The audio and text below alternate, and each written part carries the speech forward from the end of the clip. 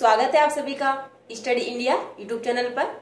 तो आइए शुरू करते हैं आज हम एस एस सीजीएल एग्ज़ाम 2019 का, जीके स्मार्ट गान का वीडियो नंबर टू, जिसके अंदर हम बात करेंगे एस एस सीजीएल एग्ज़ाम में पूछे जाने वाले मोस्ट इम्पोर्टेंट क्वेश्चंस के बारे में, जो कि आपके बाकी एग्ज़ाम्स के लिए भी काफ़ी इम्पोर्टेंट है।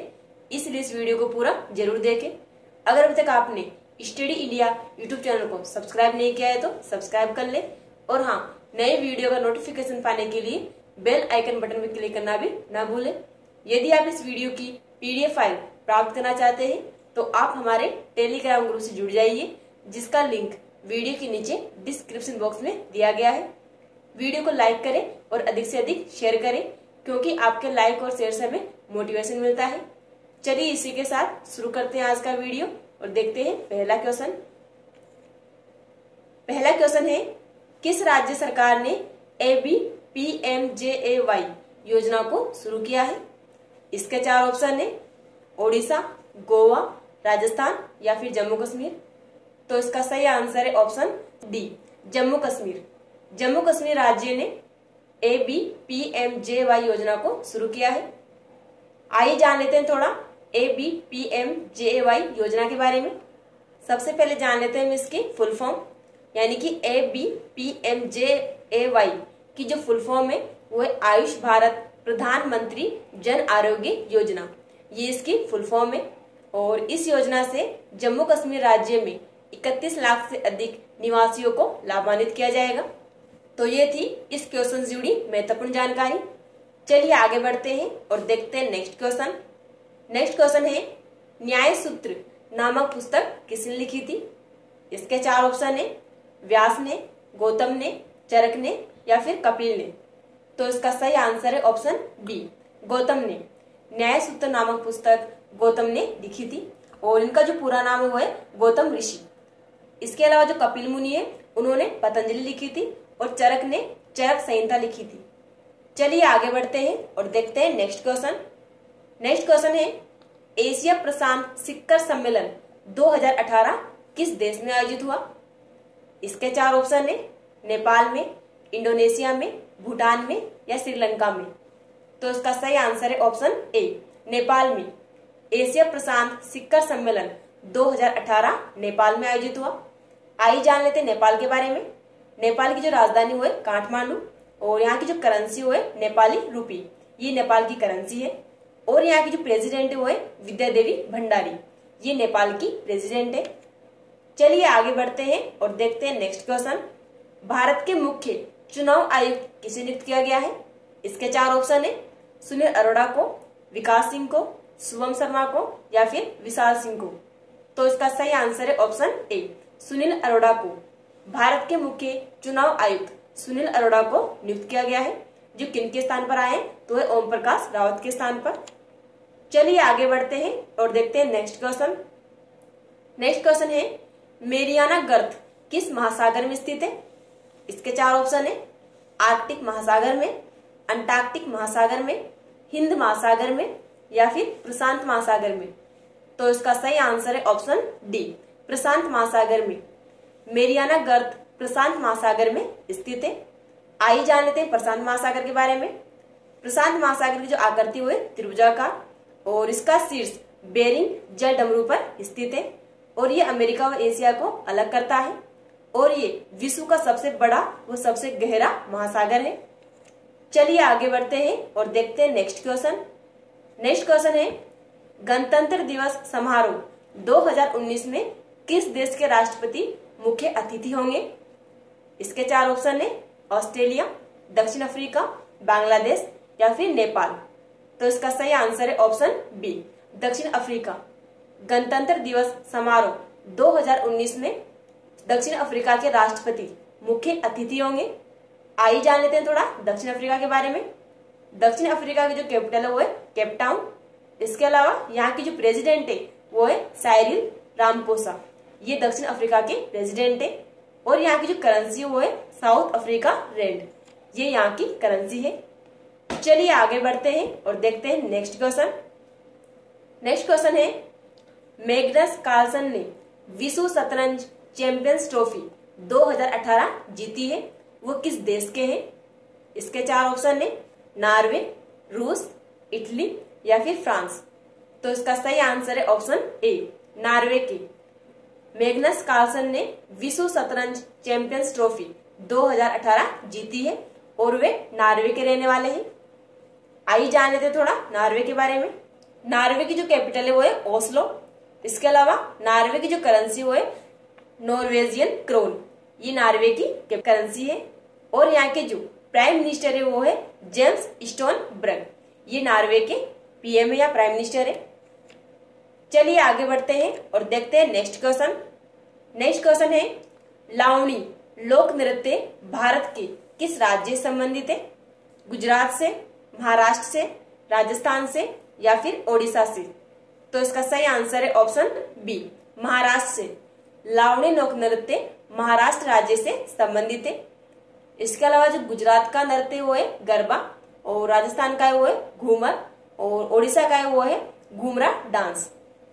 चलिए आगे बढ़ते हैं और देखते हैं नेक्स्ट क्वेश्चन। नेक्स्ट क्वेश्चन है, मसाई किस देश की जनजाति है? इसके चार ऑप्शन है, केन्या की, जर्मनी की, ऑस्ट्रेलिया की, या फिर भारत की। तो इसका सही आंसर है ऑप्शन ए, केन्या की। मसाई, केन्या की जनजाति है। आइए जान लेते हैं केन्या के बारे में। केन्या की जो कैपिटल है, वो है नेरोबी। ये केन्या की कैपिटल है और यहाँ की जो करेंसी वो है, केनियान सिलिंग ये केन्या की करेंसी है और यहाँ की जो प्रेसिडेंट है, वो है उहरू मोगई केन्याता। ये यहाँ के प्रेसिडेंट है। चलिए आगे बढ़ते हैं और देखते हैं नेक्स्ट क्वेश्चन नेक्स्ट क्वेश्चन है भारतीय संविधान में कितने मौलिक अधिकार सम्मिलित है? इसके चार ऑप्शन है। चार, पाँच छ या सात।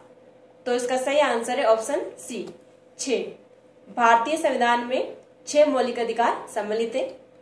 पहले भारतीय संविधान में सात मौलिक अधिकार सम्मिलित थे लेकिन चौवालीसवें संविधान संशोधन द्वारा संपत्ति के अधिकार को हटा दिया और अभी वर्तमान में भारतीय संविधान में टोटल छह मौलिक अधिकार है। चलिए आगे बढ़ते हैं और देखते हैं नेक्स्ट क्वेश्चन नेक्स्ट क्वेश्चन है हीमोग्लोबिन किसका मुख्य घटक है? इसके चार ऑप्शन है डब्ल्यूबीसी का आरबीसी का प्लाज्मा का, या फिर ये सभी सही है। तो इसका सही आंसर है ऑप्शन बी आरबीसी का। हीमोग्लोबिन आरबीसी का मुख्य घटक है। आरबीसी की फुल फॉर्म होती है, लाल रुधिर कणिकाएँ। और जो डब्ल्यूबीसी की होती है श्वेत रुधिर कणिकाएँ। चलिए आगे बढ़ते हैं और देखते हैं नेक्स्ट क्वेश्चन नेक्स्ट क्वेश्चन है, पोलो की एक टीम में कितने खिलाड़ी होते हैं? इसके चार ऑप्शन है, सात, पाँच, नौ या फिर ग्यारह। तो इसका सही आंसर है ऑप्शन ए सात। पोलो की एक टीम में टोटल सात खिलाड़ी होते हैं। इसके अलावा जो पाँच खिलाड़ी होते हैं, वो होते बास्केटबॉल में। और जो नौ खिलाड़ी होते हैं वो खो खो में, और जो ग्यारह खिलाड़ी होते होते हैं क्रिकेट में। चलिए आगे बढ़ते हैं और देखते हैं नेक्स्ट क्वेश्चन सेशन पसंद आ रहा हो तो लाइक बटन प्रेस करना बिल्कुल भी ना भूले। नेक्स्ट क्वेश्चन है, पृथ्वी की सबसे ऊपरी परत को क्या कहते हैं? इसके चार ऑप्शन है, मेटल, क्रोड, प्रपट्टी या फिर बहिर्मंडल। तो इसका सही आंसर है ऑप्शन सी प्रपट्टी। पृथ्वी की जो सबसे ऊपरी परत होती है उसे प्रपट्टी कहते हैं।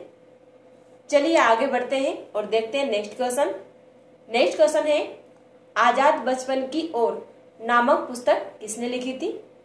इसके चार ऑप्शन है, दीपक मिश्रा ने, राधाकांत भारती ने, कैलाश सत्यार्थी ने या फिर रामनाथ कोविंद ने। तो इसका सही आंसर है ऑप्शन सी, कैलाश सत्यार्थी ने। आज़ाद बचपन की ओर नामक पुस्तक कैलाश सत्यार्थी ने लिखी थी। कैलाश सत्यार्थी को 2014 में शांति पुरस्कार भी दिया गया था। चलिए आगे बढ़ते हैं और देखते हैं नेक्स्ट क्वेश्चन नेक्स्ट क्वेश्चन है 1528 में किसने चंदेरी में राजपूतों को हराया था? इसके चार ऑप्शन है, हुमायूं ने, अकबर ने, जहांगीर ने या फिर बाबर ने? तो इसका सही आंसर है ऑप्शन डी बाबर ने। 1528 में बाबर ने चंदेरी के युद्ध में राजपूतों को हराया था। इसके अलावा बाबर ने चार महत्वपूर्ण युद्ध लड़े थे, जिनका पहला युद्ध था, यानी कि 1526 में इन्होंने पानीपत का युद्ध लड़ा था, पंद्रह में इन्होंने खानवा का युद्ध लड़ा था 1528 में इन्होंने चंदेरी का युद्ध लड़ा था, जिसमें इन्होंने राजपूतों को हराया था, और पंद्रह में इन्होंने घाघरा का युद्ध लड़ा था। तो ये इनके चार प्रमुख युद्ध है। चलिए आगे बढ़ते हैं और देखते हैं नेक्स्ट क्वेश्चन। नेक्स्ट क्वेश्चन है, पहली काम करने वाली लेजर का आविष्कार किसने किया था? इसके चार ऑप्शन है। ए एच टेलर ने, डब्ल्यू के रोन्टजन ने, टी एच मेमन ने, या फिर फ्रेंड मोरिसन ने। तो इसका सही आंसर है option C, T H Maiman ने। पहली, काम करने वाली लेजर का आविष्कार टी एच मेमन ने किया था। इसके अलावा, डब्ल्यू के रोन्टजन ने एक्सरे किरणों का आविष्कार किया था। चलिए आगे बढ़ते हैं और देखते हैं नेक्स्ट क्वेश्चन। नेक्स्ट क्वेश्चन है, मार्क्सवादी कम्युनिस्ट पार्टी ऑफ़ इंडिया की स्थापना किस वर्ष हुई थी? इसके चार ऑप्शन है, अठारह में, उन्नीस सौ छियासी में, उन्नीस में या फिर उन्नीस सौ छियानवे में। तो इसका सही आंसर है ऑप्शन सी, उन्नीस में। मार्क्सवादी कम्युनिस्ट पार्टी ऑफ़ इंडिया की स्थापना उन्नीस में हुई थी। इसके अलावा कांग्रेस की स्थापना अठारह में हुई थी। चलिए आगे बढ़ते हैं और देखते हैं नेक्स्ट क्वेश्चन नेक्स्ट क्वेश्चन है, निम्नलिखित में से कौन सा एक संगणक या कंप्यूटर का मुख्य निकाय है? इसके चार ऑप्शन है सीपीयू कीबोर्ड माइक्रोचिप या फिर मदरबोर्ड तो इसका सही आंसर है ऑप्शन डी मदरबोर्ड मदरबोर्ड एक संगणक या कंप्यूटर का मुख्य निकाय है। इसके अलावा सीपीयू की जो फुल फॉर्म है, वो है सेंट्रल प्रोसेसिंग यूनिट जिसे कंप्यूटर का मस्तिष्क भी कहा जाता है और कीबोर्ड एक इनपुट डिवाइस है। इसी के साथ आज का वीडियो यही समाप्त होता है। अगर आपको वीडियो पसंद आया हो तो लाइक कमेंट और शेयर करना बिल्कुल भी ना भूले। हम फिर मिलते हैं हमारे GK smart video number third में। तब तक के लिए थैंक यू